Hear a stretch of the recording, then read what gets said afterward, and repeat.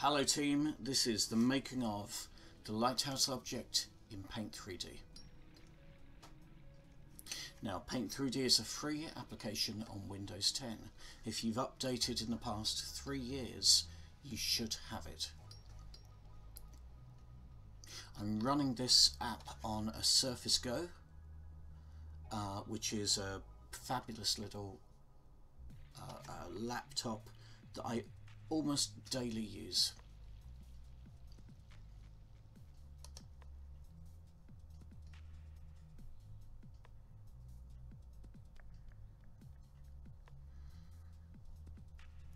Now, Saturday the oh, let me just think. That's Friday the 7th of August was Lighthouse Day, and that was what gave me the idea of making this.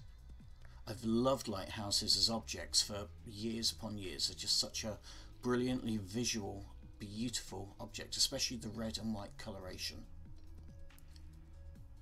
So I decided to make a lighthouse. Um, I was in between different objects. I was making something else as part of Twitch's, well, as part of my uh, month on Twitch, creating a smorgasbord dragon object.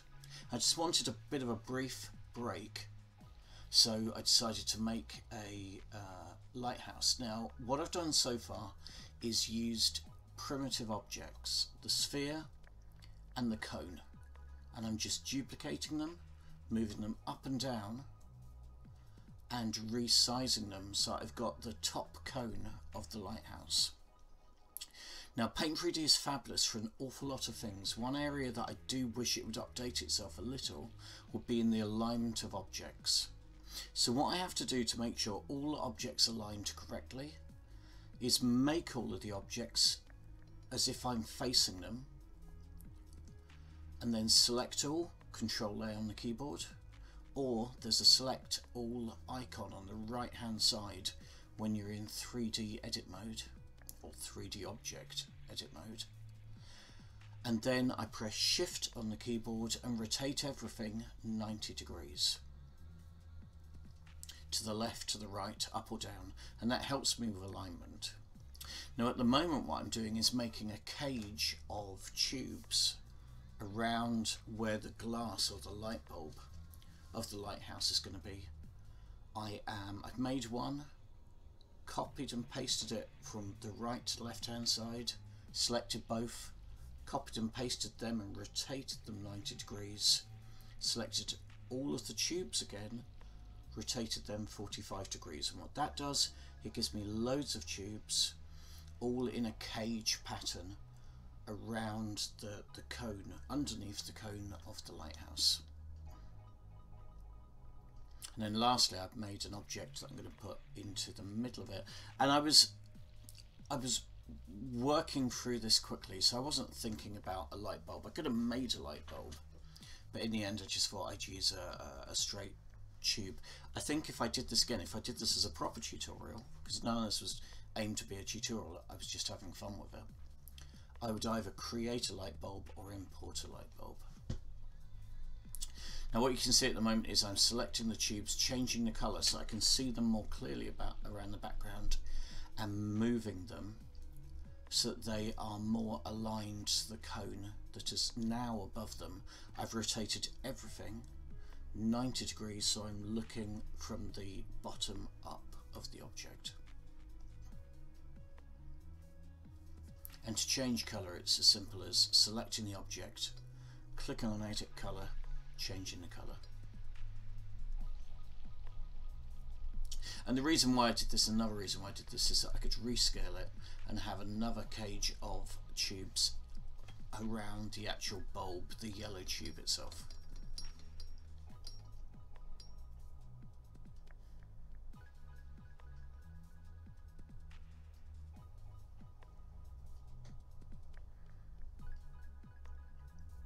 Now what I've done is I've copied the cone, I've selected the cone, I've copied it and I've inverted it in terms of scale. I've dragged the little middle white box on the scale box and dragged it downwards.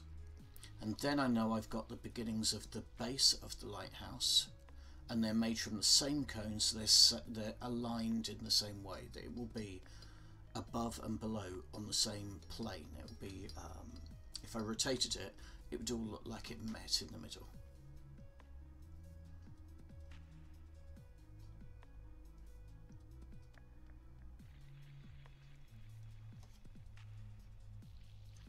Now with all 3D applications, Blender and 3ds Max and SculptGL and Maya and Lightwave and whatever, understanding the concept of 3D space is the hardest. Now Paint 3D does it in a slightly dissimilar way. Most applications give you a top, a left, a front and a perspective view so you can be looking at your object from different angles at the same time. Paint doesn't do that. Paint gives you one angle and you can rotate objects as much as you want or you can click on the 3D view icon or text which is at the top of the screen just right of the middle. If you click on that you can see a 3D view, you can rotate it with the right click of your mouse or three fingers on a touchscreen and rotate the screen around. And that's great, it's useful, you can see your object from different angles I tend never to make anything in the 3D view because you don't exactly know where it's going to align to or which angle it's going to be made at. But it's not impossible, I, it's my personal choice in that respect.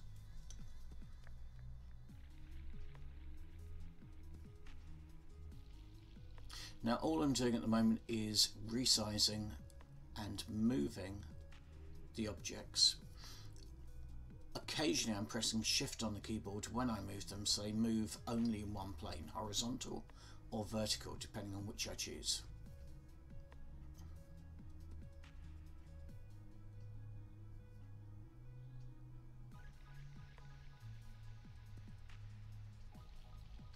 But this is, there's no, um, there's nothing different about what I'm doing at the moment. All I'm doing is resizing objects to taste. I'm just seeing where I like these objects to be. Now at this point I've hidden the background. You can do that by pressing canvas which is at the top of the, the Paint 3D window. It's one of the darker grey icons to the right hand side. Click on that and click on show canvas. It will be highlighted blue to say it's on and I turned it off. Or you can press Control, Shift and W on the keyboard. Now, more or less at this point, I decided I wasn't going to give this... Uh, I was wondering about a cliff to put the lighthouse on, but I thought that would actually not be too much work. But I only wanted this to be a simple object that I made quite quickly. So instead, I decided it was going to be a space lighthouse, partially inspired by the Fabulous Gorillas video as well. So I used, I went to 3D tools, 3D objects, I clicked on the 3D Doodle tool, the middle one. You get three at the top above primitives. One is a tube, a sausage brush. One is a soft edge doodle. So you make something that is almost like a cushion. And one is a hard edged doodle. And I drew a simple rock face. I copied it a couple of times, I think. I made one of the copies green for grass, one of the copies grey for rock, I just moved the two so they're intersecting. One was just showing up through the top of the other. That's how I got the grass effect in, in polygons rather than in texture. And again, I'm just rota rotating everything 90 degrees to the left, 90 degrees to the right. I press shift when I'm doing this in order to make sure that I'm snapping to those points. Whenever I rotate, I don't do it by eye, I don't do it by any number possible.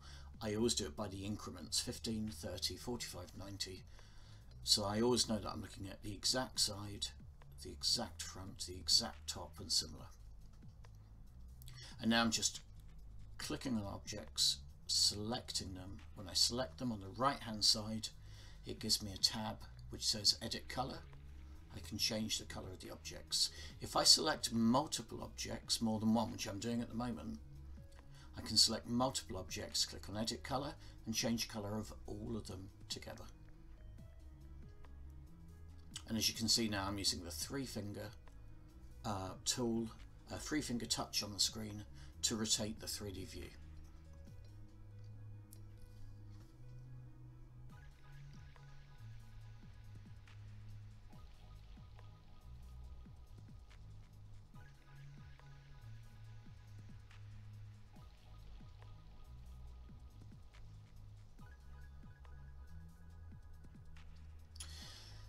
Now, the reason why I can move the red of the lighthouse as opposed to the white, which is what I'm doing at the moment, is because there are two cones there, and one I've coloured red, one I've coloured white. The overlap allows me to change where the, the line, where the red and the white meet. Uh, and it's just a great way to, to colour an object simply. Primitive, change your colour, move it around. So now I've got a white, a red and a white stripe on my lighthouse and that's only because I've got two or three cones that I'm just moving the center point or the scale of.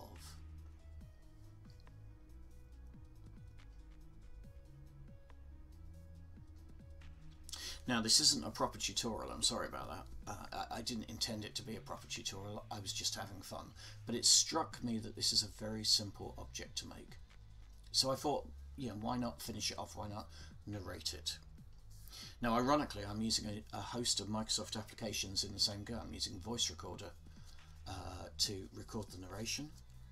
I'm, record, uh, I'm editing it in the updated version of Microsoft Movie Maker which is the Videos app in the Photos app. Yes, I know, but you know, hey, what can you do? Uh, and obviously I made this all in Paint 3D. The only thing that I've used to create all of this that isn't Microsoft is OBS, which is the shareware free um, open broadcast system where you can record this video, which is what I've done. Now, um, that's brilliant. The barrier for entry for people making videos is very, very low. It's, it's fantastic. Um, now, to go back to the model for a second, I'm using the 2D paint tools to paint directly on the 3D object, and I'm painting a window. Now what I'm doing is I'm painting the outside shape with a marker pen, and then I'm using a marker pen of the same color, oh, of the same color as the background, to just tidy up the edges. I could use at this point the eraser as well to tidy up the edges. That would take me back to the underlying colour of the um, background which is white. Uh, again personal choice is what I choose to do. I am using a, a marker with a lower opacity to paint the shadow underneath the windowsill. I'm going to use that in slightly more uh, um, purposefully now on the door I'm using a green marker pen, low opacity to do the shading on the door.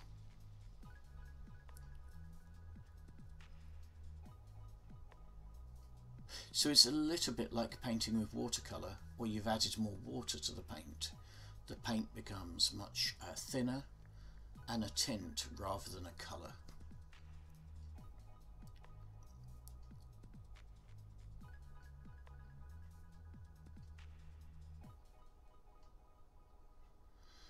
Now it's only a quick object and that was only a quick element. I would probably add more detail to that, add a, a, wood grain sticker or something like that to make the door nicer. But actually, to be honest, it's such a small area of the screen. Again, it's one of the things that, uh, because I'm a teacher, it's one of the things that I say to my students, what is the bit you need to focus on? And the door for at this point wasn't for me. If I was zooming in on it in an animation, then yes, it would be more important and I would add more detail to it. However, I, I don't know that I set myself this time scale, but I knew I wanted to make this as a quick object. The entirety of this object, this video is in real time, the entirety of this object was made in 30 minutes.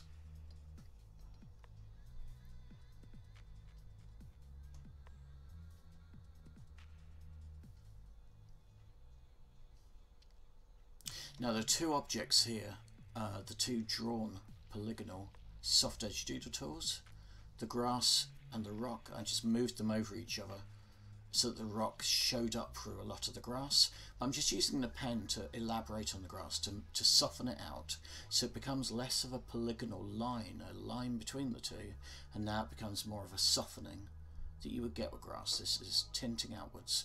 I'm using the watercolour brush on a low opacity just so I can ghost some of the grass in there and add a couple of grass highlights as well. Again, I could have used a sticker uh, to do that, but um, uh, this is a, a fast object. If I spent more time on it, I would spend more time texturing it. I have used a sticker here, uh, which is a rock sticker, and I've stuck it again at a low opacity on the underneath of the floating meteorite lighthouse. As a quick and simple way to colour and tint the whole of an object that is facing you. Unfortunately, sticker only does the side that's facing you and blends outwards, which is useful in ways. It would be lovely to be able to put a sticker over the whole of an object in a uniform fashion. But at the moment what you have to do is put a sticker on, rotate it, put a sticker on, rotate it. Now when you apply a sticker there are two icons on either side of the sticker. One is a tick. And if you click on that it just stamps the sticker down and takes you out of sticker mode. The other one is a stamp and if you click on that it stamps the sticker, moves it a little bit down and to the right, then you can move your object, stamp again, move your object, stamp again, move your object, stamp again. And that is what allows me to do that across.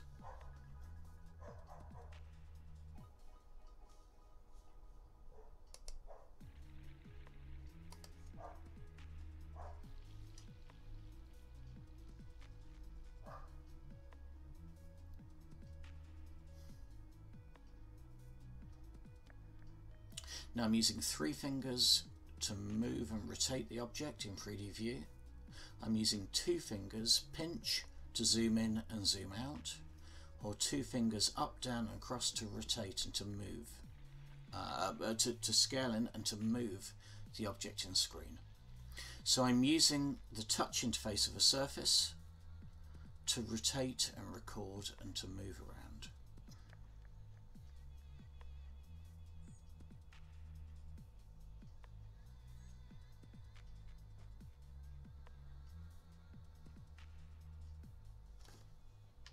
Now finally I've decided that if I'm going to have a space lighthouse, what this really needs is a UFO. Unfortunately a UFO is a really beautifully simple object to make. So I've used a sphere to create the like the bulb of the UFO and hmm, I seem to have stopped for a minute. Maybe I was getting up pouring a new coffee or something like that, I don't know. But once I've made the sphere, I copied and pasted the sphere and used the control key to rescale it in and out and the shift key to scale it um, hang on, uh, zooming in and out. So I've used the control and shift key to move and scale it uh, to constraints and that allows me to keep the alignment of the sphere and to also enlarge it and squash it down.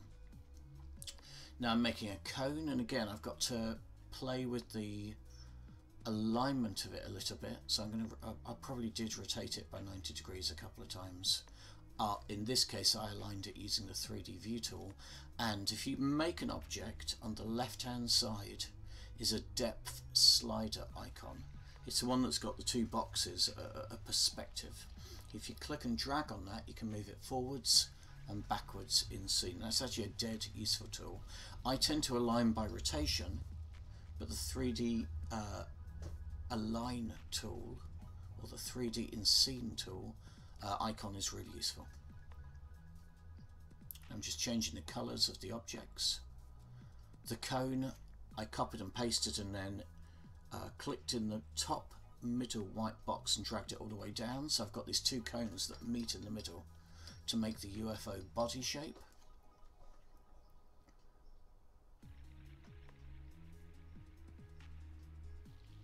And now I'm just rotating to make sure the alignment is correct. Now I'm going to select both of the cones in a second at the moment I'm just duplicating the bulb underneath the UFO as well. But I'm going to select both of the cones in second and group them. So I select, click on one, either press the multi-select icon or press shift on the keyboard, click on the second one, press Control and G to group them and now the, the two cones are acting as one object. And the reason why I'm going to do that is one of my favourite Paint 3D hacks. I'm still in alignment mode at the moment. I'm still making sure these objects all meet up on a central pivot line. But this is one of my favourite Paint 3D hacks to copy. This is where I'm doing at the moment, grouping an object. I scale it inwards and I scale it outwards using the control key to make an, a larger but thinner line. I copy that, I rotate it 90 degrees, I paste that. When you see the UFO next, you'll see it's got these grid lines all the way around the two cones, which gives it more of a feeling of uh, uh, detailing and object complexity, where actually all I've done is I've copied and repasted the same object a couple of times. So I love doing that. I use that, uh, um, it's not a hack, but I use that part of Paint a lot to duplicate, to copy, paste and duplicate and rotate. So I press shift when I'm rotating to snap to the increments. So if I have something that's facing me and I rotate it 90 degrees, I know it's facing me on the side. Um, I wish I'd zoomed in on the UFO. I will do a UFO specific tutorial one day. I might even remember to tag it in here as a suggested link. But now I'm making the feet. It's just a cone and a hemisphere. I select both. I copy. Oh no, I select both. I'm just checking the alignment of them now. If you can, if you click and drag around multiple objects, it will select just the objects that are within that box, which are quite useful. So that's how I selected both the cone and the hemisphere for the leg. I've copied, I've pasted them, I've dragged them over to the right hand side. I rotate them again 90 degrees and that gives me the four legs of the UFO that are equally spaced. Now again, there are more uh, detailed ways of doing these, there are more complex way of doing all these things. I just wanted to make something in half an hour.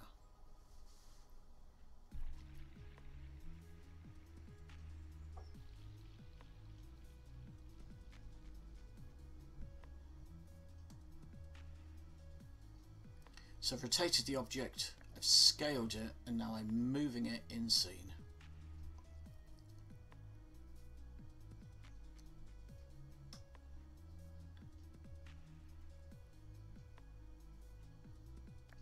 I rotated everything 90 degrees so I'm looking from the top down view and now I've moved the UFO so that it is actually sitting on top of the asteroid. And at this point, this is the only point I do think on a non-15 degree increment, I start rotating it so it more closely meets the asteroid underneath it. Now I probably had to click on or press control on the keyboard and then rotate, which is what would have stopped it snapping to object beneath it. Snap is great and very useful, but in this case I didn't want it. And then lastly I added some stepping stones from the lighthouse to the UFO and I started with a light grey um, stone colour uh, which I'm just using the watercolour brush on a slightly lower opacity. And then I decided, you know what, it's sci-fi, it needs some glowing blue. So I did the same thing, possibly lowered the opacity, I can't remember, and drew on top of the stones with a glue, uh, glue, a blue glow.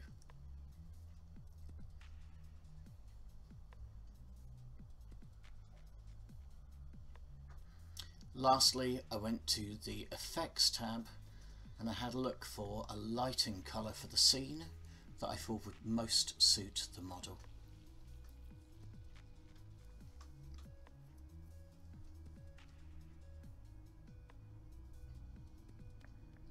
Now all I've done there is moved it a little bit closer to the ground because in 3D view that gives you a lovely shadow effect.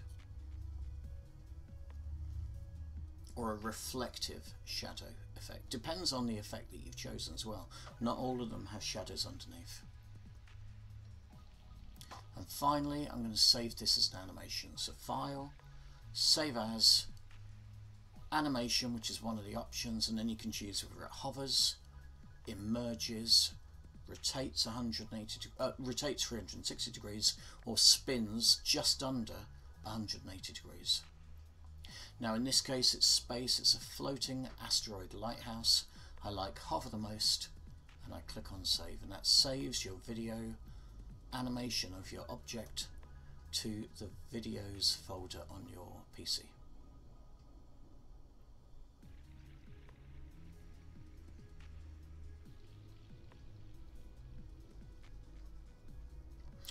and there we have it you just have to rename the file name the file and save. Press save and then wait for your file to finish.